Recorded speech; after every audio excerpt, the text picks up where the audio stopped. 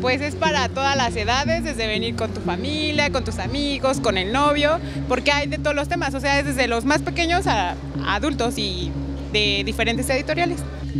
Pues es un impulso que le está dando la Secretaría de Cultura para que realmente se, se despunte aquí este, el fomento a la lectura.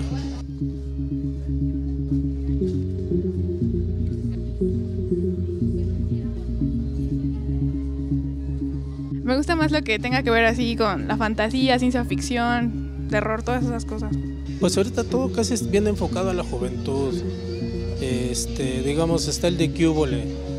Ese ha sido un boom para, para los jóvenes y, este, y más bien viene siendo como un, este, eh, un recuento de lo que le pasa a los jóvenes. Se venden más fantasía y clásicos, también los géneros que son basados en las películas.